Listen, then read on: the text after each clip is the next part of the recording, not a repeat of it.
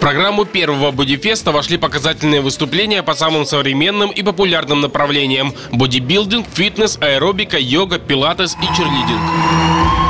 Данное мероприятие организовано с целью показать жителям различные направления фитнеса, что их очень много, а, что есть чем вообще любому человеку заняться в фитнес-центре. Это не обязательно тренажеры, это и пилатес, и йога, а, танец на пилоне. Гостями шоу стала известная в мире бодибилдинга группа силового экстрима «Петербург Атлетик». Ее лидеры Сергей Зибаль, Дмитрий Климов и Дмитрий Крылов на глазах всего зрительного зала разрывали резиновые грелки, закручивали сковородки, сгибали толстые прутья арматуры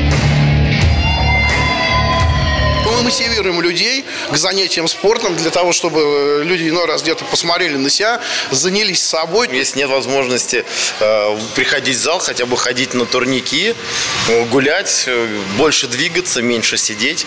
Ну и, соответственно, здоровое питание не один раз в день или два, а хотя бы раза четыре.